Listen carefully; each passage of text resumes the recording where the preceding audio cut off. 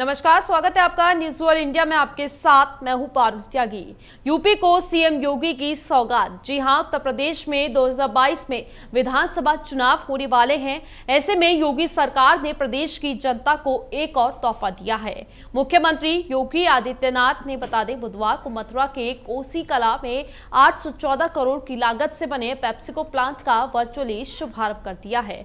बता दें कि देश में पेप्सिको का ये सबसे बड़ा निवेश है और इससे प्रत्यक्ष और अप्रत्यक्ष रूप से 1500 से ज़्यादा लोगों को रोज़गार मिलेगा। साथ ही 5000 से ज़्यादा किसानों को भी इसका लाभ दिया जाएगा। दरअसल यूपी में निवेश को लेकर बड़ी कंपनियों का नज़रिया अब बदल रहा है।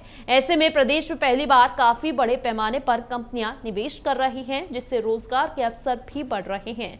प्रदेश सरकार की निवेश फ्रेंडली नीतियों की वजह से पेप्सिको का प्लांट दो साल से भी कम समय में चालू हो गया है। तो बड़ी सौगात सीएम योगी की तरफ़ से प्रदेश की जनता को दिया गया है और ऐसे में 814 करोड़ की लागत से बना पेप्सिको प्लांट का शुभारंभ कर दिया गया है।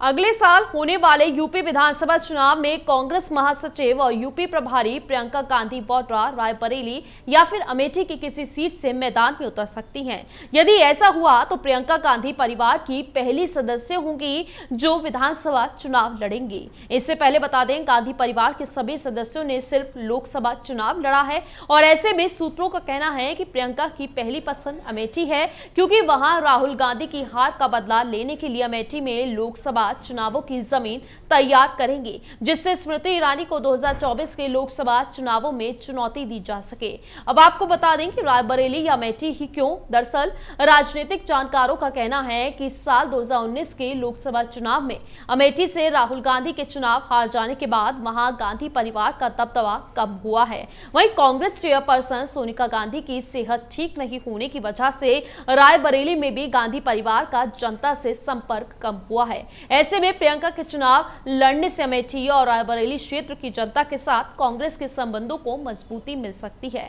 यानी कि प्रियंका गांधी भी इस बार विधानसभा चुनाव के ज़रिए चुनावी मैदान में उतरती हुई नज़र आ सकती हैं।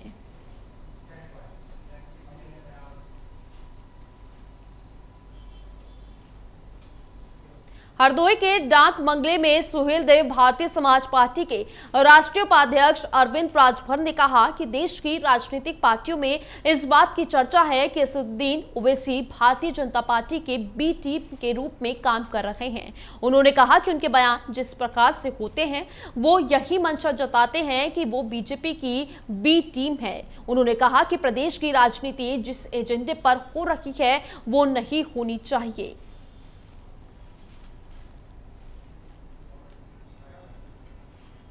देखिए उनका फरमान कांग्रेस पार्टी का ये संभवतः होता है व्यक्तिगत फरमान है। ये पॉलिटिकल फरमान नहीं है। आवेदन होते हैं। बिना आवेदन के क्योंकि पार्टी का पहला एक संविधान होता है उसमें दर्ज होता है कि पार्टी से कोई भी कैंडिडेट चुनाव लड़ेगा तो उसको फॉर्म भरना होगा उसको सारी प्रक्रियाएँ पूरी करनी होगी। लेकिन इस प्रक्रियाओं के दरमियान जो प्रक्रिया का शुल्क होता है वो शुल्क व्यक्तिगत खाते में नहीं जाना चाहिए। ये शुल्क संस्था के खाते में जाता है, पार्टी खाते में जाता है तो कहीं कहीं का ये फरमान व्यक्तिगत है। और इसको अगर देखा जाए तो वो अपना अकाउंट भरना चाह रहे हैं। मेरठ में शहीद मेजर मयंक विश्नोई के घर पर पहुँचे राकेश टिकैत। तो वहीं ओवैसी और बीजेपी पर उन्होंने निशाना साधते हुए कहा कि चाचू जान बीजेपी के इलेक्शन में मदद करेगा। साथ ही हरियाणा के गृह मंत्री अनिल विज के बयान पर भी टिकैत ने कहा कि आंदोलन है, गदर नहीं, गदर में मारकाट होता है और हमने मारकाट नहीं की। तो वहीं टिकैत का कहना है कि हरियाणा सरकार ने रास्ते बंद किए थे और ये आंदोलन है और ये चलता रहेगा। दो हज़ार बाईस चुनाव में कोई सरकार हमारे भरोसे न रहे।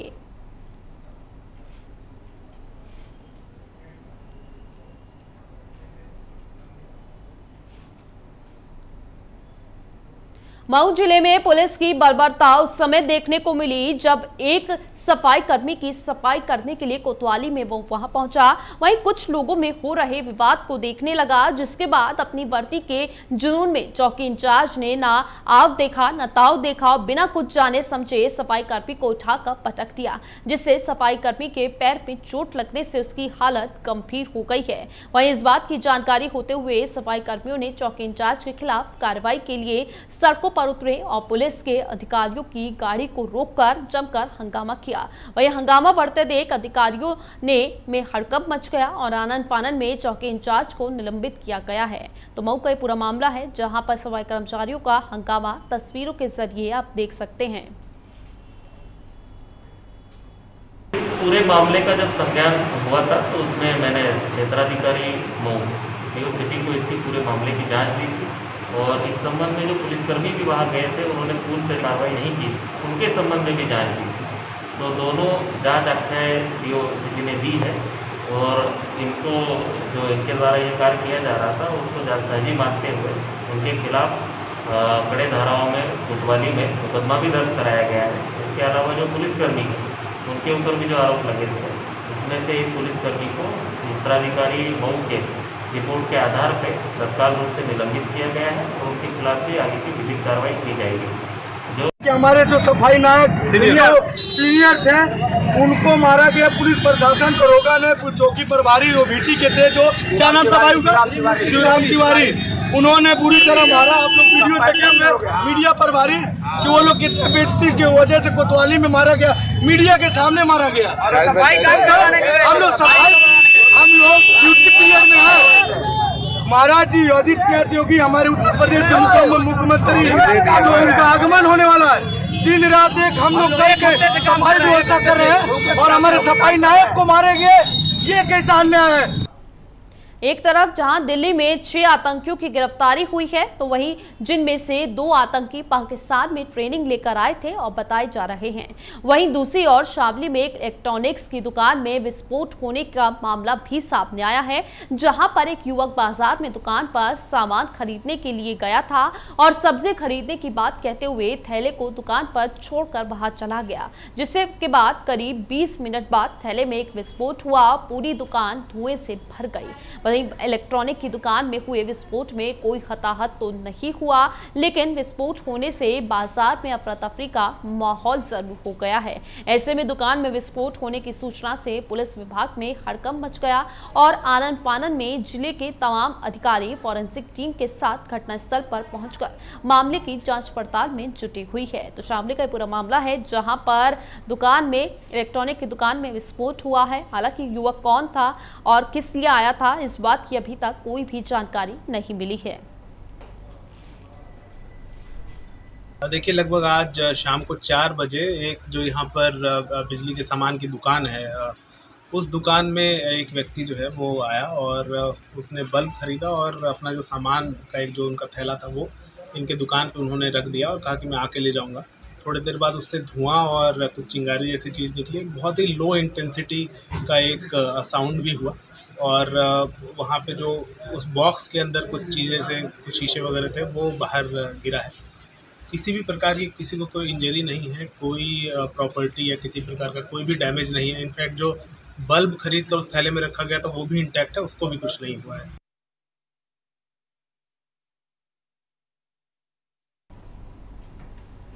आज़ाद समाज पार्टी के राष्ट्रीय अध्यक्ष आज ग्रेटर नोएडा पहुँचे, जहाँ पर सहारनपुर से सैकड़ों बसपा के पदाधिकारी और कार्यकर्ताओं ने आज़ाद समाज पार्टी का दामन थामा है। और भारी संख्या में मुस्लिम समाज के लोग आज़ाद समाज पार्टी में शामिल हुए। वहीं बता दें, सहारनपुर से बसपा के पूर्व जिलाध्यक्ष भी आज़ाद समाज पार्टी में शामिल हुए। साथ ही सहारनपुर से भारी संख्या में प्रधान और पार्षद भी आज़ाद समाज पार्टी में शामिल हुए हैं। इस दौरान आज़ाद समाज पार्टी के राष्ट्रीय अध्यक्ष ने ने बीजेपी सरकार पर जमकर हल्ला बोला और योगी आदित्यनाथ पर भी जमकर निशाना साधा है।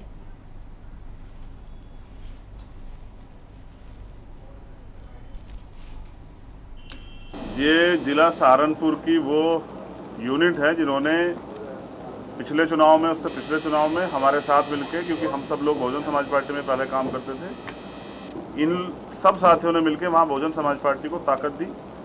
आज सहारनपुर से ये जो नींव है वो आज़ाद समाज पार्टी के साथ जुड़ी है। एक भाईचारा बना है। इस भाईचारे से हम लोग सहारनपुर में अब आज़ाद समाज पार्टी का इलेक्शन में किससे मुकाबला नहीं है। जब चुनाव होंगे आप रिज़ल्ट देख लीजिए 2022 के चुनावों में आज़ाद समाज पार्टी कितनी सीटों पर चुनाव लड़ेगी? अगर अलायंस हो रहा आपका तो किस पार्टी के साथ आप जाएँगे? देखिए हमारी पार्टी एक लोकतांत्रिक पार्टी है। यहाँ अध्यक्ष भी कोई परमानेंट नहीं है। यहाँ जो यूनिट तय करेगी अब जैसे ये लोग यूनिट के लोग जुड़ गए ये लोग जो तय करेंगे हमारे यहाँ बैठ के प्लान होते हैं। हमारे राष्ट्रीय स्तर के सारे पदाधिकारी यहाँ हैं, भाटी जी यहाँ हैं, निज़ाम चौधरी जी यहाँ हैं, हाजी सबील साहब यहाँ हैं।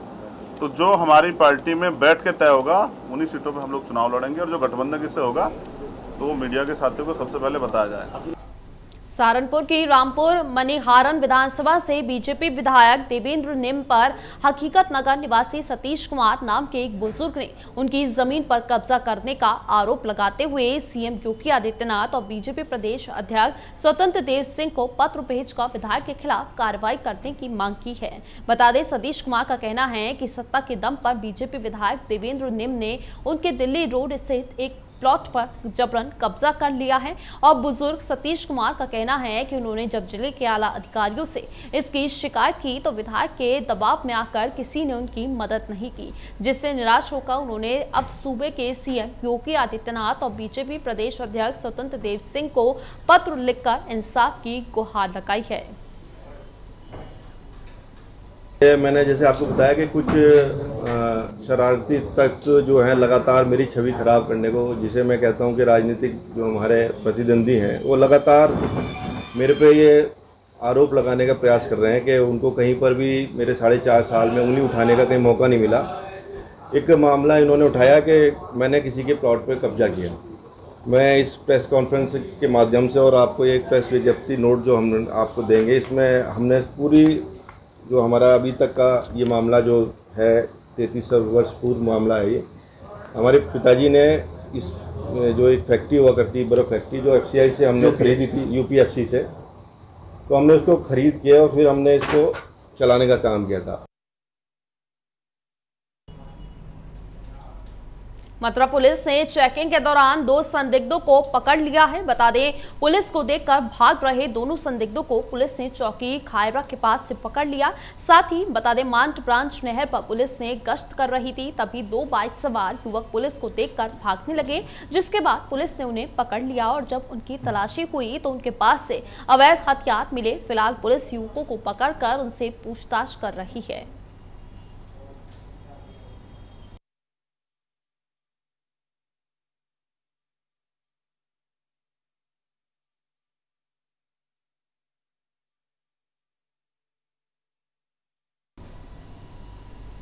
2022 के विधानसभा चुनाव को लेकर जहाँ सपा और बसपा प्रबुद्ध सम्मेलन करने में लगी है तो वहीं भारतीय जनता पार्टी जन आशीर्वाद यात्रा के ज़रिए लोगों तक अपनी योजनाओं को पहुँचाने में लगी हुई है। वहीं न्यूज़ वर्ल्ड इंडिया की टीम ने योगी सरकार के पाँच साल के कार्यकाल पर जब लोगों से बात की तो लोगों ने बताया कि इन पाँच सालों में महँगाई ने कमर तोड़ कर रख दी है और सरकार को महँगाई काबू में करने के लिए और कुछ करना चाहिए। आप भी सुनिए।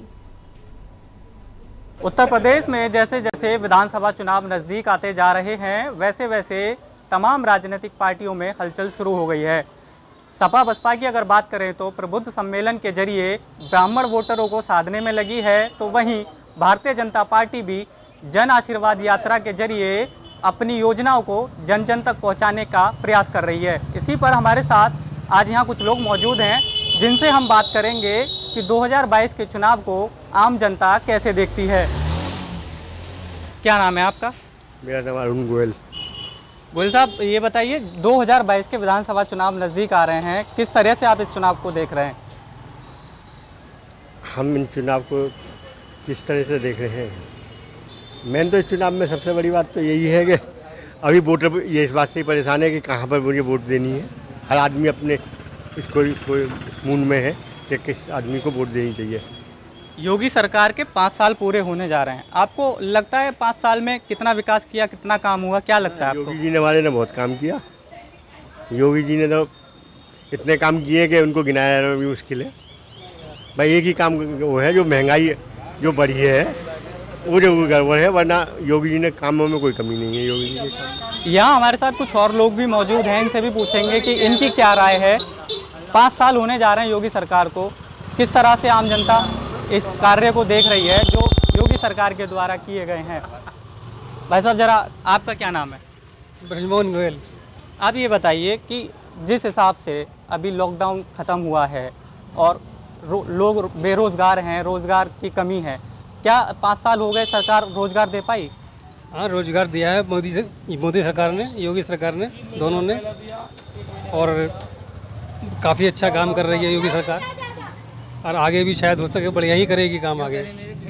आगे और तमाम राजनीतिक दल जो हैं ब्राह्मण वोटरों को साधने में लगे हैं। आपको क्या लगता है ब्राह्मण वोटरों को साधने से कितना फ़ायदा इस चुनाव में होगा? मोदी सरकार को ही फ़ायदा होगा ब्राह्मण वोटों से भी? योगी सरकार को ही फ़ायदा होगा और क्या? बस। आपका नाम क्या है? मेरा नाम महेश है। महेश चंद गुप्ता। महेश चंद गुप्ता जी ये बताइए 2022 के चुनाव नज़दीक आ रहे हैं किसकी सरकार बनने जा रही है? भाजपा की बीजेपी की? क्यों बने भाजपा की सरकार क्यों बनेगी? जो बाकी की और सरकारें थी उन्होंने काम नहीं किया। बीजेपी की सरकार ने बहुत अच्छे काम किए हैं बहुत बढ़िया। क्या काम किया? जरा बताएँगे। हर काम किए बीजेपी ने योगी जी ने बहुत सामान किए हैं। योगी मोदी जी ने बहुत बढ़िया काम किए हैं। इस बार जो ब्राह्मण कार्ड खेला जा रहा है कितना काम आने वाला है इस चुनाव में? बहुत काम आने वाला है बहुत ही बढ़िया। बस। आपका क्या नाम है वैसा प्रशांत गौड़। 2022 में किसकी सरकार बना रहे हैं? भैया सरकार किसी की हो लेकिन काम करने वाला आदमी होना चाहिए। और बच्चों की फ़ीस कम करने वाला होना चाहिए। क्या काम नहीं हुआ इन पाँच सालों में? पाँच सालों में नौकरी बेरोजगारी ज़्यादा बढ़ी है। लॉकडाउन से भी पब्लिक परेशान है। लॉकडाउन में नुकसान कितना हुआ? है अच्छा ये बताइए जिस इलाके में आप रहते हो उस इलाके में कितना काम हुआ है? उस उस इलाके में कुछ भी ऐसा खास काम नहीं हुआ। क्या क्या क्या काम होना चाहिए था? ए, क्या डिमांड है यहाँ के लोगों की? क्या? मतलब थोड़ा साफ़ सफ़ाई का तो ठीक है सब काम लेकिन महँगाई का ज़रूर काम बढ़ा है। हर चीज़ महँगाई बढ़ी है। क्या चीज़ सस्ती है? बच्चों की फ़ीस पर भी रोक लगनी चाहिए माइनस में होनी चाहिए लेकिन सब प्लस में जा रही है। जो सपा बसपा ब्राह्मण कार्ड खेल रही हैं आपको लगता है कि इससे कुछ होने वाला है? से कोई कास्ट से कोई मतलब नहीं है आदमी काम करने वाला होना चाहिए। बिल्कुल जो आम जनता है उसकी अपनी यही राय है कि कास्ट से कुछ नहीं होने वाला है जो काम दिखना चाहिए कायदे में वो काम नहीं हुआ है और कुछ लोगों की ये भी राय है कि जो काम होना चाहिए था वो काम हुआ है। बुलंदशहर से न्यूज़ वर्ल्ड इंडिया के लिए लोकेश वहीं गोंडा में अधिवक्ताओं और नगर कोतवाल के बीच झड़प हुई, जिसमें अधिवक्ताओं ने नगर कोतवाल के साथ हाथापाई की। इस दौरान कुछ वकील और पुलिसकर्मी बीच बचाव करते हुए नज़र आए और इस झड़प का वीडियो तेज़ी के साथ सोशल मीडिया पर वायरल हो रहा है। बता दें, अधिवक्ता ग्राम न्यायालय का विरोध सहित अन्य मांगों को लेकर लगातार विरोध प्रदर्शन कर रहे हैं।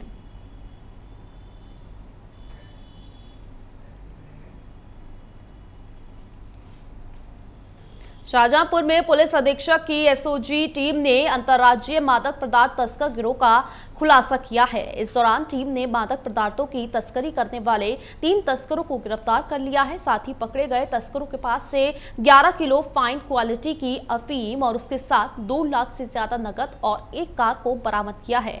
वहीं बता दें कि तस्करों के पास से मिली अफीम की कीमत ग्यारह करोड़ के करीब बताई जा रही है। कल मुखबिर के ज़रिए सूचना प्राप्त हुई कि एक बहुत बड़ा अंतर्राज्यीय गिरोह अवैध मादक पदार्थों की तस्करी करने वाला वो सक्रिय है और कल उसकी एक बड़ी खेप डिलीवर होगी, जो हरियाणा से लोग आएँगे, वो एक वरना गाड़ी से और उस अफीम को ले जाएँगे। इस सूचना पर एसओजी और थाना कोतवाली की पुलिस द्वारा गाड़ाबंदी की गई और रात में ये जब एक वरना गाड़ी और एक व्यक्ति दिखाई पड़े तो उनको रोककर और उनसे, उनकी तलाशी नियमानुसार अधिकारी के समक्ष ली गई। तो उनके कब्जे से कुल मिलाकर 11 किलो अफीम बरामद हुई, जिसकी अंतर्राष्ट्रीय कीमत लगभग 11 करोड़ रुपए है। ताज नगरी के संरक्षित स्मारक का इतिहास अब दृष्टि बाधित भी पढ़ सकेंगे। दरअसल बता दें कि भारतीय पुरातत्व सर्वेक्षण ने आज़ादी के अमृत महोत्सव के तहत ब्रेल लिपि में पुस्तक तैयार कराई है और इसे दृष्टि दिव्यांग भी आगरा के इतिहास, ताजमहल और फतेहपुर सीकरी समेत आगरा के अन्य स्मारकों के बारे में जान सकेंगे। एएसआई इससे पहले राजस्थान के किले, दिल्ली के स्मारक और उत्तराखंड के स्मारक को लेकर ब्रेल लिपि में पुस्तक प्रकाशित कर चुकी है, जिसका आज विमोचन विमोचन आगरा के महापौर नवीन जैन ने अपने आवास पर किया और इस मौके पर आगरा एएसआई के अधिकारी भी मौजूद रहे।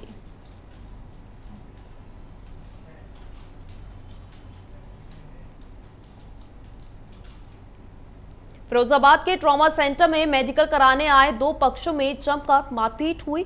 सूचना के बाद मौके पर पहुँची पुलिस ने तीन लोगों को, को गिरफ़्तार कर लिया। दरअसल एक पक्ष ने आरोप लगाया कि 14 जून को 21 को उसके बेटे की हत्या कर दी गई थी, जिस सिलसिले में वो आज अपनी पत्नी और माँ के साथ आगरा कमिश्नरी पर बयान करने के लिए जा रहा था।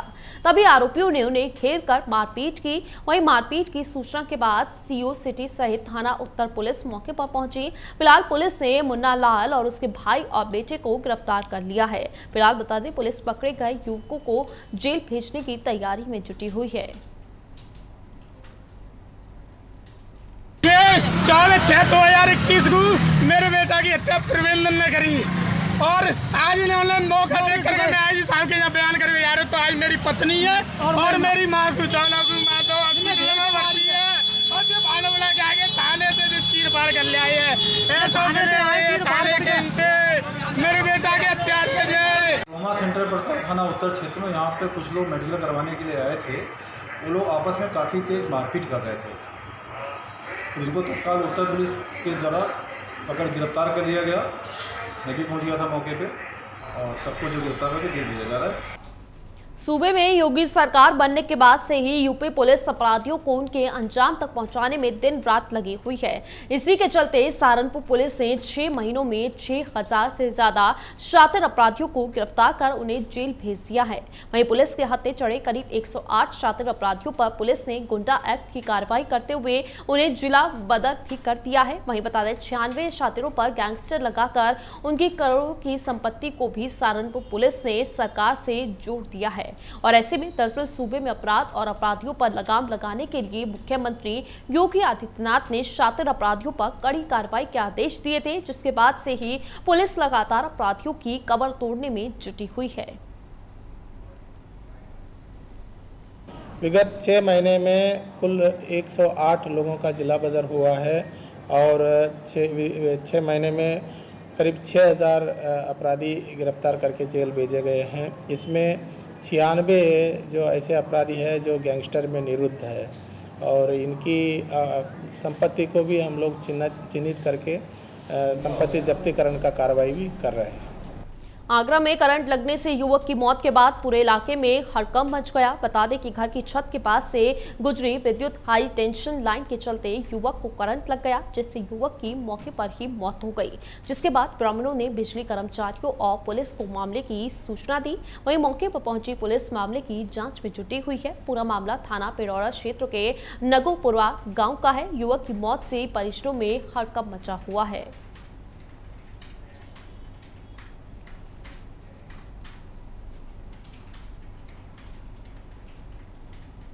वहीं बस्ती शहर के एक नर्सिंग होम से नवजात शिशु के गायब होने का सनसनीखेज मामला सामने आया है। दरअसल, बच्चे की रिश्तेदार आशा कार्यकर्त्री ने उसे एक तांत्रिक के हाथ बेच दिया था। सूचना मिलते ही सक्रिय हुई पुलिस ने कड़ी से कड़ी जोड़कर खोजबीन की तो चौंकाने वाली कहानी सामने आई। गनीमत रही कि कुछ घंटे पहले ही पैदा हुए नवजात को पुलिस ने रुधौली थाने के गाँव से ढूंढ निकाला है और उसे तांत्रिक के गाँव की महिला ने अपने घर में छिपाया था। माना जा रहा है कि यदि पुलिस ने तत्परता न दिखाई होती तो तांत्रिक के हाथ लगे नवजात बच्चे की जान को भी खतरा हो सकता था।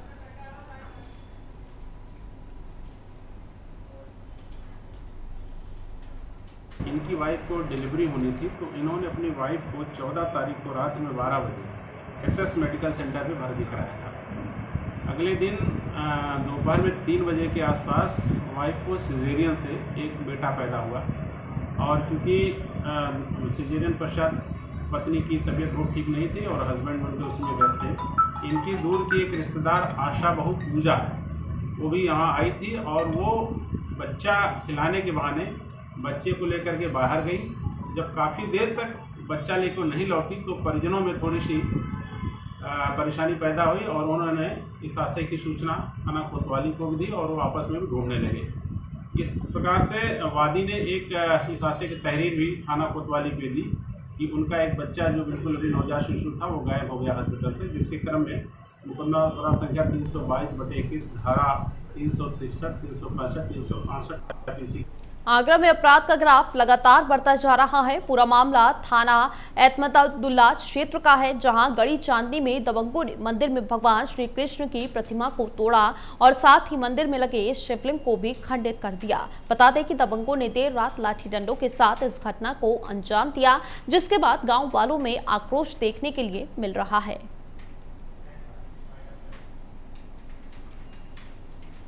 और इसी के साथ इस बुलेटिन में फ़िलहाल इतना ही। आप देखते रहिए न्यूज़ वॉल इंडिया।